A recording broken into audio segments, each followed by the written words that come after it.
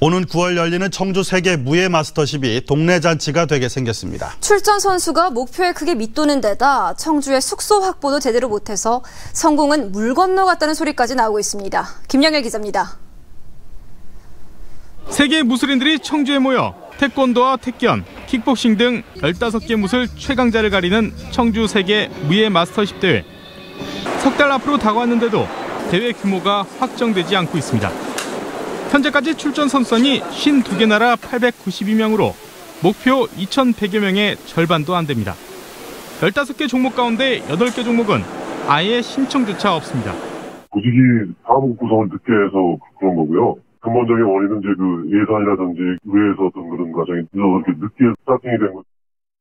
대회 홍보가 부족해 상당수의 외국 선수들은 자신의 국가 지원 없이 항공료부터 참가비까지 스스로 해결해야 하는 상황입니다.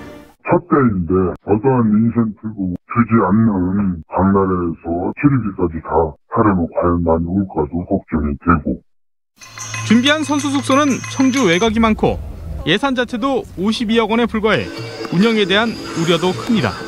이 숙박 시설이 약해요. 진짜 법무여성까지 숙소가 있단 말이죠. 그러면 경기장에서 기본이 30분에서 40분, 50분, 1시간까지 되는 거예요.